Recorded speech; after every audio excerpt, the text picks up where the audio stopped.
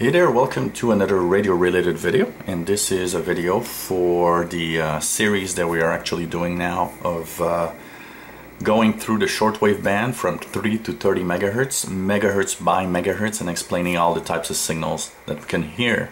So this is the video for 13 megahertz. So what's to listen on 13 megahertz? Uh, basically 13 megahertz is uh, almost a half and half split uh, half of it is utility signals, I would say from about 13 to 13.500. And um, from about 13.500 to 13.900 you'll have uh, the 22 meters international broadcast band and you have a little portion, uh, last 100 kilohertz, which is uh, once again utility signals.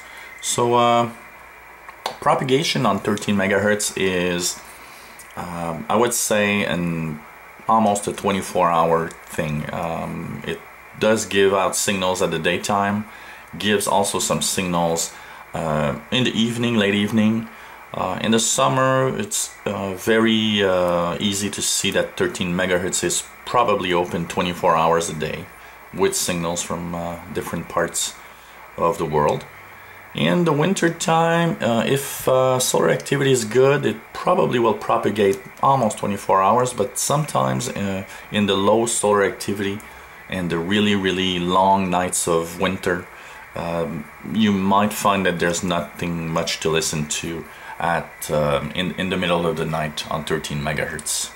So let's tune around and see what we can listen to.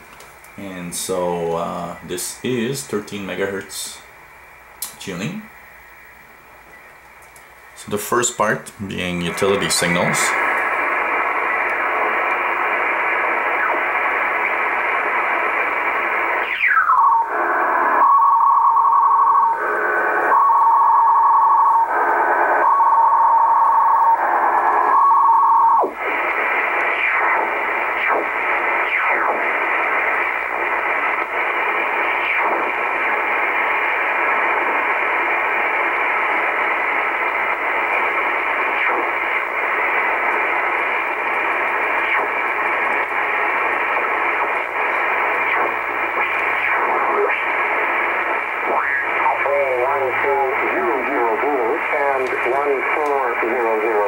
13.270 is uh, the uh, aviation weather from uh, it alternates from New York radio and Gander radio uh, from uh, United States and Canada. This one is Gander radio from uh, the eastern part of Canada. Wind 230 degrees, 5 knots, visibility more than 6 miles, few clouds, at 1 5 There's lots of uh, military and hair signals here in this uh, area.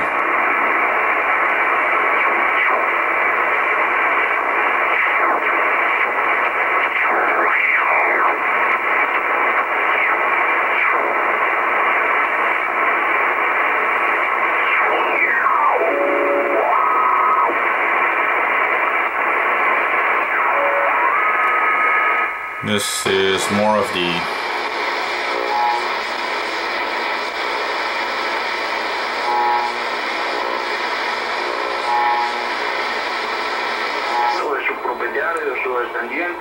22 international, uh, 22 meters international broadcast band. Not much to listen to at this time.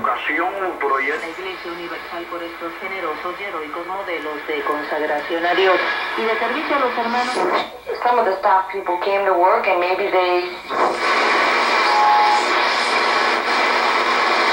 And the last little part here, once again some utility signals.